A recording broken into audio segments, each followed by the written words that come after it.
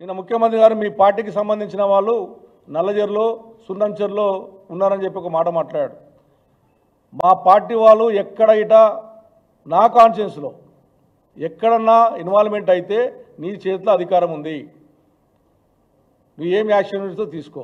నల్ల జర్లు అనేటటువంటిది ఏ పార్టీ వాళ్ళు ఉన్నారు అనేది ఒకసారి పూర్తిగా అధికారులతో మాట్లాడి నువ్వు తీసుకుంటే బాగుంటుందని ముఖ్యమంత్రి గారిని నేను విజ్ఞప్తి చేస్తూ ఉన్నాను. మీకు ఏదో తప్పుడు ప్రచారం చెప్పగానే ధర్మను అనేయడము ఇది మంచిది కాదని చెప్పి నేను ముఖ్యమంత్రి గారికి నేను విజ్ఞప్తి చేస్తూ ఉన్నాను.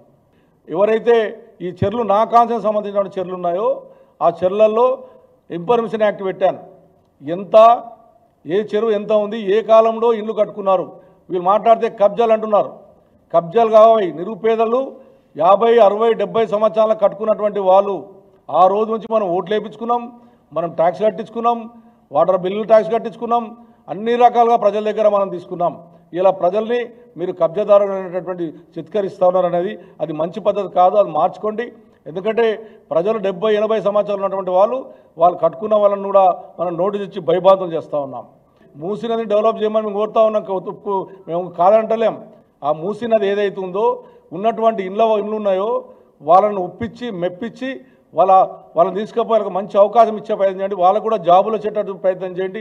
వాళ్ళకు కూడా అన్ని రకాల ఉపాయం కల్పించే ప్రయత్నం చేయండి. ఇలా మూసీ నది మీద ఉన్నటువంటి ఇండ్లకు పన్నెండు వేల మంది డబల్ బెడ్రూమ్ కట్టించింది టీఆర్ఎస్ పార్టీ ప్రభుత్వం. ఇలా మీరు వచ్చిన తర్వాత ఎవరు కట్టేయలే? ఏది చేసినా టీఆర్ఎస్ పార్టీ ప్రభుత్వం చేసిన దాని మీదనే మీరు మాట్లాడుతూ ఉన్నారు. తప్పుడు మాటలు మాట్లాడి వీళ్ళు కబ్జాలు పెట్టిరు వాళ్ళు కబ్జాలు పెట్టిరు అనే మాట మాట్లాడకుండా మీ చేతిలో అధికారం ఉంది. నేను అవసరమైతే మీకు డిమాండ్ చేస్తూ ఉన్నాం. సిట్టింగ్ జడ్జితోని విచారం జరిపించండి. కానీ నిరుపేదల తెరువు రావద్దని చెప్తా ఉన్నాను. యాభై అరవై సంవత్సరాలు ఉన్నటువంటి వాళ్ళ తెరువు వస్తే వదిలిపెట్టే ప్రసక్తి ఉన్నాడు మాధవరం కృష్ణారావు కుక్కడపల్లి కాన్షియస్లో హైదరాబాద్ నగరంలో ఉన్నటువంటి చెర్లన్నీ ఎన్నున్నాయి. ఆరు వందల చెర్లు ఉన్నట్టుగా నాకు ఉన్నటువంటి సమాచారం. ఇప్పుడు ఉన్నాయి మీరు చెప్పేది నూట డెబ్బై మాట్లాడుతున్నాం. నాలుగు వందల చెర్లు ఎవరు కబ్జాలు పెట్టారు? ఎక్కడ పోయినా చెర్లు? ఇవన్నీ కూడా విస్తరణ చేయండి. బట్టబయలు చేయండి. ప్రజలకు చెప్పండి. మేము వచ్చిన తర్వాత డెవలప్ అయిందన్నట్టు మాట మాట్లాడుతున్నది. ఏదైతే మాట్లాడుతున్నారో అది తప్పది. హైదరాబాద్ నగరాన్ని బ్రహ్మాండమైనటువంటి డెవలప్మెంట్ గతంలో టీఆర్ఎస్ పార్టీ ప్ర- హయాంలో చేశాం కాబట్టే మేము ఉన్నటువంటి పదిహేడుకు పదిహేడు మంది హైదరాబాద్లో ప్రజలకు బొమ్మలతం పెట్టారు. హైదరాబాద్ ప్రజలను కన్నీరు పెట్టినద్దు ఇలా తెలంగాణ రాష్ట్రానికి గుండెక హైదరాబాద్. హైదరాబాద్ ప్రజలను వేధించొద్దు. హైదరాబాద్ ప్రజల దగ్గరకు వస్తే మంచిగా ఉండదు. ప్రజలు ఇబ్బంది పెడితే మొత్తం ఖచ్చితంగా టీఆర్ఎస్ పార్టీ తరఫున మేము ఎంబడి పడతాం ప్రజల సేవ చేస్తాం. హెచ్ఎండి దగ్గర ఒక- ఒక ప్లాన్ ఉంది. చెర్ల మీద. జిహెచ్ఎంసీ దగ్గర ఒక ప్లాన్ ఉంది.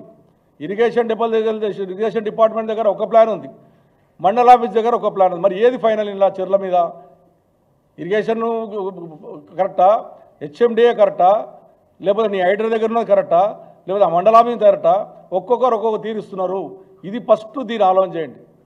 మీ నలుగురు ఉన్నటువంటి డిపార్ట్మెంట్ దగ్గరనే సక్కలేదు మీరు ఇచ్చినటువంటి పర్మిషన్ కొంతమందికి ఇచ్చారు హైదరాబాద్ నగరంలో. చాలా బీద వాళ్ళు కొనుక్కున్నారు. వాళ్ళకి అన్యాయం జరుగుతూ ఉంది. అది జరగకుండా చూసే బాధ చూసుకోండి. పొట్టన చేతులు పెట్టుకొని చాలామంది సాఫ్ట్వేర్ దూగస్తులు మీ దగ్గర ఉన్న పర్మిషన్ లేని చెప్పి కొనుక్కున్నారు. దాన్ని ఇలా పలగొట్టే ప్రయత్నం చేస్తారు కాబట్టి ఒక క్లారిటీ ప్రకారం ఆలోచన చేయమని చెప్పి నేను ముఖ్యమంత్రి గారిని అదేవిధంగా ప్రజల దగ్గర వచ్చి నిరుపేదలు నలభై ఏళ్ళు యాభై ఏళ్ళు కట్టుకున్న వాళ్ళ దగ్గరకు వస్తే మాత్రం ఖచ్చితంగా వదిలిపెట్టే ప్రసక్తి ఉందని చెప్పి తెలియజేస్తా ఉన్నాను.